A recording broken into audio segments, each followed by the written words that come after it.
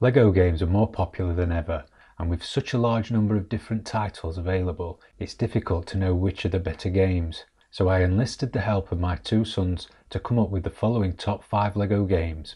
At number 5 is Lego Indiana Jones. The comedy element of this game gives it charm. Obviously some of the scenes in the film are a bit much for a young audience, so the writers have rehashed them with a silly twist. However, it's the in-game puzzles which really set this aside from the numerous other LEGO titles and see it squeeze into the top 5. At number 4 is LEGO Indiana Jones 2. The open world feel and large range of different vehicles you can utilise is a big draw for gamers. A large range of maps and the use of time limits also adds variety and keeps players entertained. Plus, there's plenty of explosions. At number 3 is LEGO Harry Potter 5 to 7 which is a bit more serious than the first instalment 1 to 4.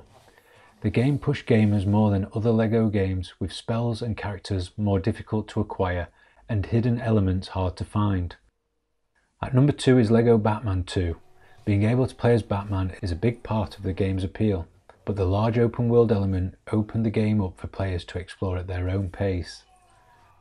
And the best LEGO game is LEGO Star Wars 3. The huge number of missions and variety of vehicles sets this one out from the rest.